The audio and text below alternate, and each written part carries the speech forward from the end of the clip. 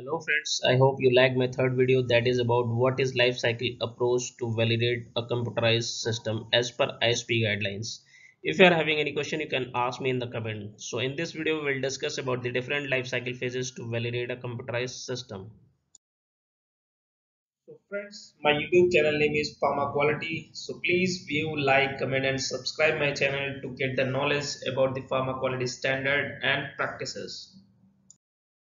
Now we will discuss about the different phases of life cycle that is also called SLC model. So first phase is phase 1 it is called the concept phase.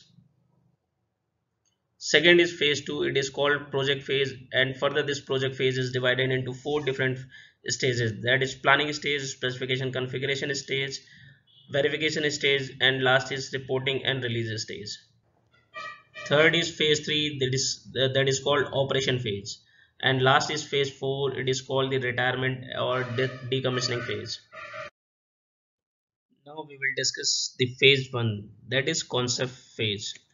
So any project initiated when there is a need from business to have an automated solution for the organization business requirements. So in this phase scope cost and benefit of benefits of the projects are discussed and decided whether to proceed to next phase or not so i want to update you that this is clearly mentioned in the guideline that all these activities are the out of scope of GAMP 5 guideline so first we need to prepare the user requirement specification the draft mode Basically, URS defines the business processes that is end user requirement, operational requirement and regulatory requirements.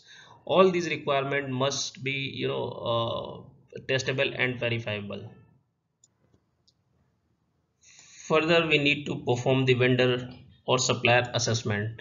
Basically, the vendor assessment shall be performed to evaluate the maturity of vendor and product.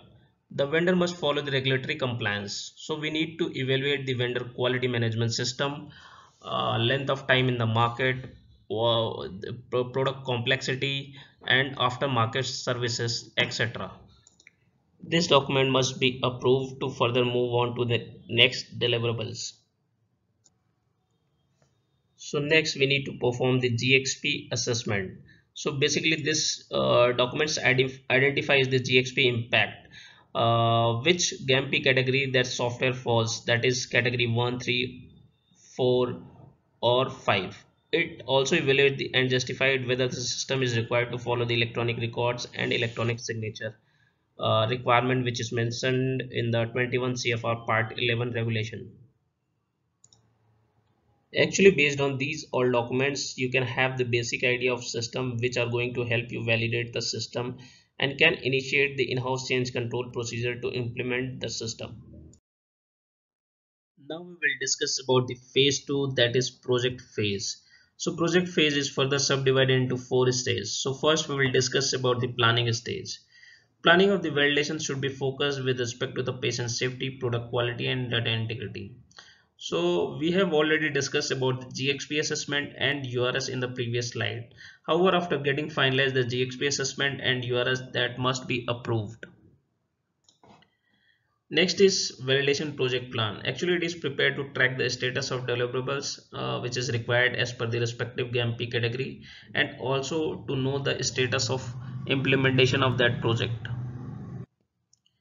Next deliverable is validation plan which is very important uh, deliverables in which you include all the validation strategies in these documents. So actually validation plan describe the purpose scope responsibilities system details implementation methodology data migration if it is applicable uh, what kind of deliverables required as per the different uh, GAMP categories uh, what is the acceptance criteria for IQ, OQPQ and also it defines the strategies for leveraging of any uh, test script from the vendor document. So it can be uh, very helpful to avoid the uh, avoid the duplication of that test. Next is electronic data compliance assessment checklist. Actually it is prepared to verify the system uh, is compliance with respect to the 21 CFR part 11 regulation. If any gap is identified in this checklist, uh, this can be discussed with the vendor for system control or procedural control. Now the second stage is specification, configuration and coding stage. This stage is uh, includes identification, analysis, configuration, and documentation of information about the system and its intended use. So first one is the functional requirement specification. It must state the functional and technical requirement that is what system must to do. Next is functional risk assessment. Actually it is prepared to determine the risk class and rigor of testing as per the identified risk class. Next is design configuration specification. So this document includes the configuration items for the application, hardware, software, operating system, interface and electronic data, etc. This is not accepted for the non-configured software that is category 3. Next is code review. So it is a peer review process used to identify the problems and in so that we can improve the software quality and this is also is not expected for the non-configured software that is category 3 third stage is verification stage. It covers the thoroughly uh, testing of system using predefined test scripts and approved validation protocol. Qualification testing cell covers all the requirement stated in the urs and frs so first one is the installation qualification. It should confirm the, that required physical hardware and software have been installed and configured correctly or not. So next is operational qualification. It should confirm this system operates according to its written and pre-approved specification. Verification of report requirement, backup restoration, user roles and privileges, etc. So next is electronic data compliance operational qualification. It verifies the system compliance with respect to the 21 CFR Part 11 regulation and EU Annex 11 regulation.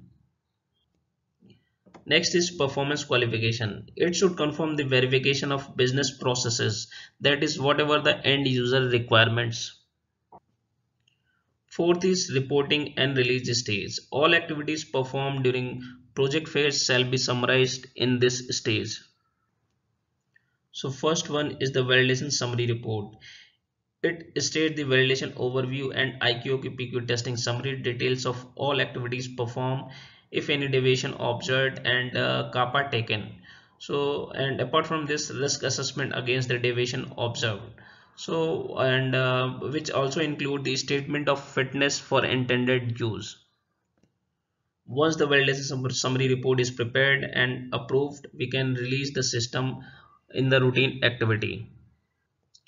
So prior to release of system, ensure the updation of availability of system inventory index, system owner, uh, end user training, uses log of that system, system operating procedure and uh, its maintenance and calibration procedure are available.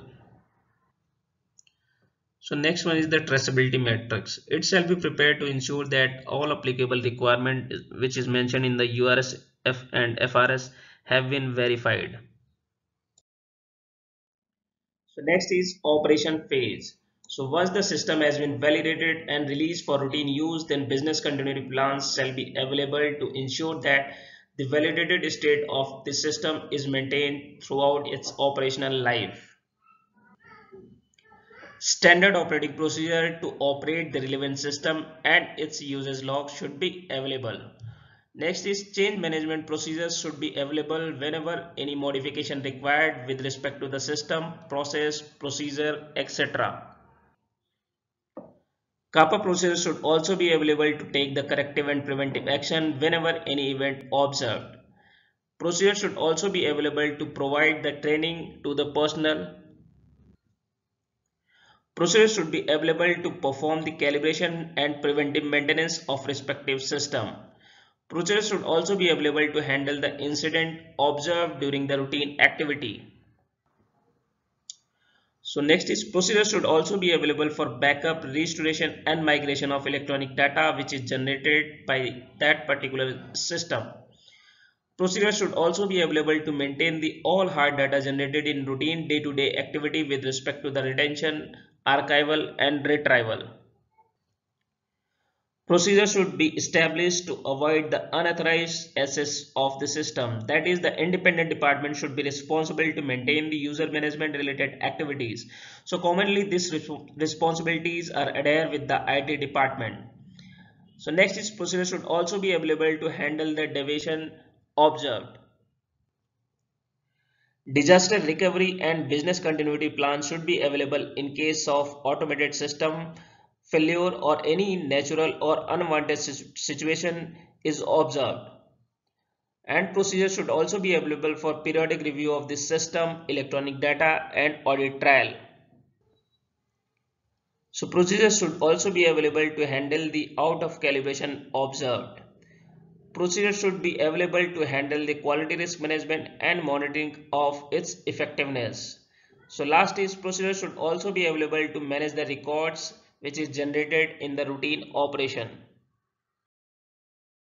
Now we will discuss about the phase 4 that is retirement phase. Retirement phase is the last phase of the system life cycle. System can be retired based on the business decision.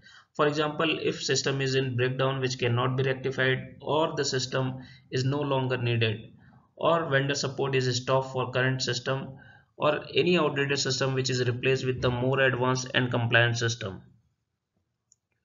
First of all, retirement plans shall be prepared which describe the documentation and control, which include verification activities which is needed to retain and retire electronic records in compliance with any applicable regulations. Also, a system retirement report should be generated to summarize the result of retirement activities and to provide any requirements that will be needed to monitor and control subsequent retirement activities. So data uh, migration is a process of transferring the data from one system to another system. So whenever retirement is required, all data should be safely migrated to the safe location. And finally, a retirement plans once it has been approved and issued, the system should be removed from the active operation. And further, all users account must be deactivated and interface of this system must be disabled. So from this uh, point onwards no data should be added into that system. Disposal of data and documentation related to systems should be completed as per the defined record retention policy. Instrument disposal should be done as per the appropriate procedure that meets the federal regulation requirement and EHS requirement so friends, this is all about the life cycle phases that is from concept phase to retirement phase as per the ISPE guideline. And in the upcoming uh, subsequent video, we will discuss about the details of each deliverables starting from URS. So I hope this video will help to better understand that what is the life cycle approach to validate a computerized system. Thank you.